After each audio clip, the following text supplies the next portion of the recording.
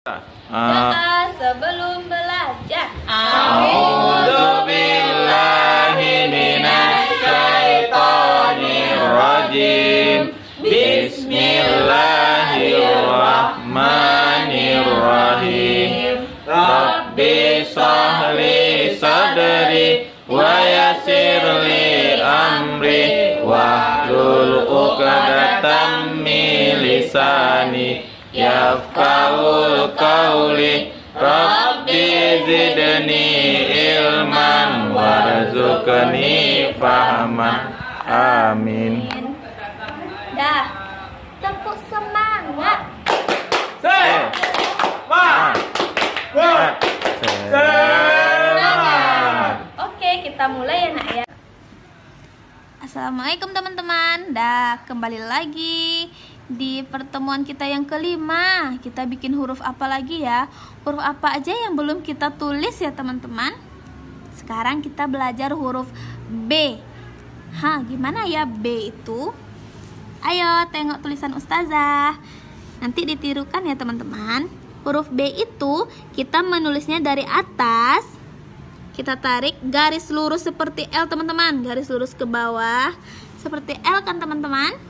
Kita kasih perutnya di depan. Oke, di depan. Hmm.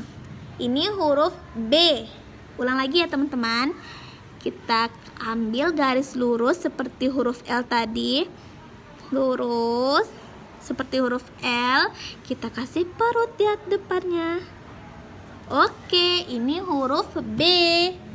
Bisa ya teman-teman? Gampang kan insya Allah membuat huruf B.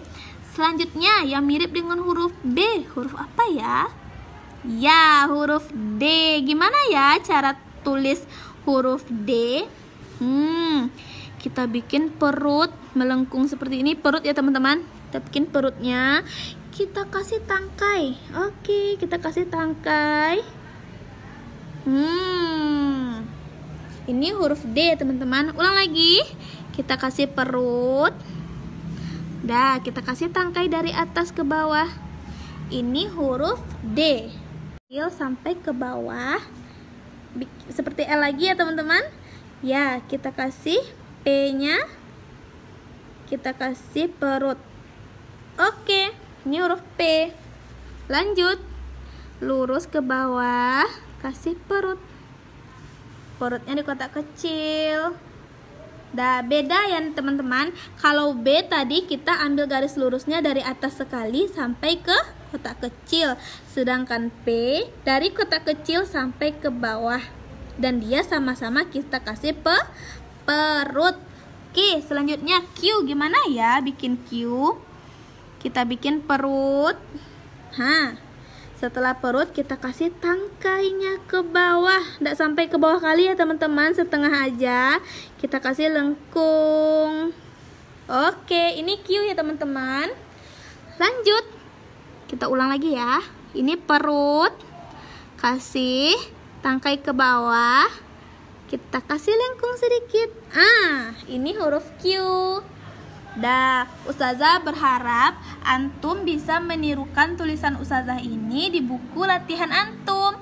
Supaya apa, Nak? Supaya bisa menulis dan cepat kita belajar bacanya ya, teman-teman ya. Teman-teman boleh menuliskan seperti yang kemarin-kemarin ya, sampai habis. Oke, syukran teman-teman yang sudah melihat video Ustazah. Assalamualaikum warahmatullahi wabarakatuh.